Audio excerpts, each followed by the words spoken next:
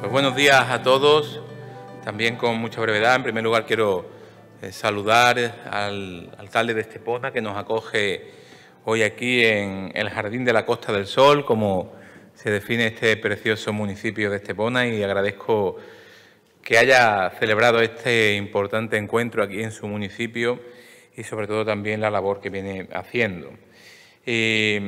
A Juan Manuel Ruiz Cobos como presidente de AMJA, eh, a los decanos de los colegios profesionales, a todos ustedes.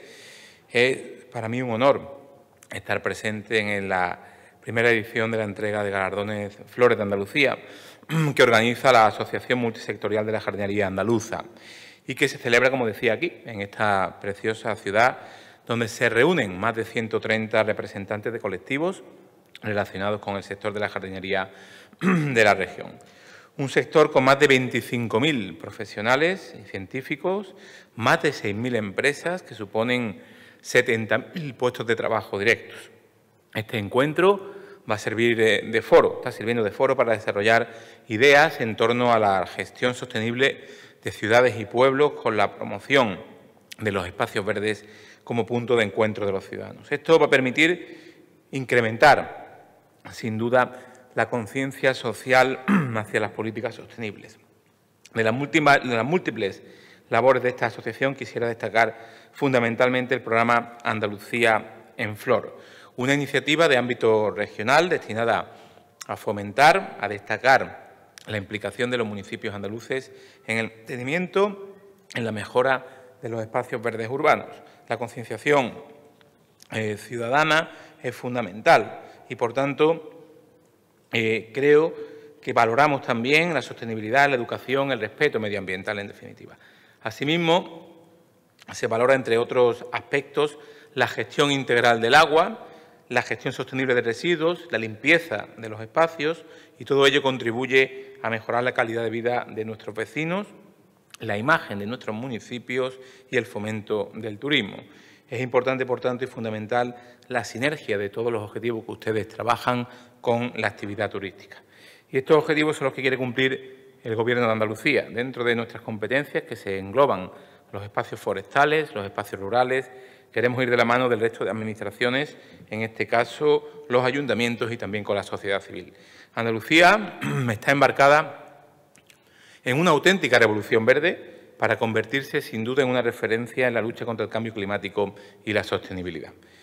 Es uno de los hitos más importantes para esta legislatura que tiene este Gobierno que lidera el presidente Juanma Moreno.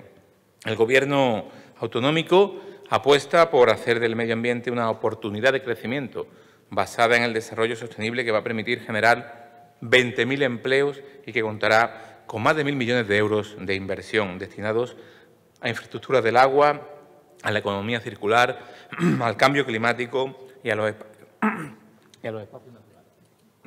Perdón. Creemos que esa inversión de 1.000 millones de euros que impulsará el Gobierno a hacer de la Revolución Verde esa polea de reactivación económica tras la crisis del COVID que estamos viviendo. Vamos a destinar 22, 25 millones de euros para reactivar el uso público de los espacios naturales y convertirlos en verdaderos motor de empleo y oportunidades fundamentalmente en las zonas rurales de nuestra comunidad. Al igual que el Plan Forestal, un ambicioso proyecto como meta la siembra de cerca de dos millones de árboles y plantas en estos próximos tres años, además de movilizar, como decía, una inversión de 2.000 millones de euros hasta 2030 con una media anual de 200 millones en políticas forestales. El objetivo es apostar por el extraordinario patrimonio natural de nuestra región para lograr una recuperación basada en la sostenibilidad, generar oportunidades de futuro y empleo y dejar la herencia a las nuevas generaciones una Andalucía mejor. En este camino vamos de la mano las distintas administraciones, también la sociedad civil, y lo importante es aunar esfuerzos, sumar, colaborar, cada uno dentro de su ámbito competencial.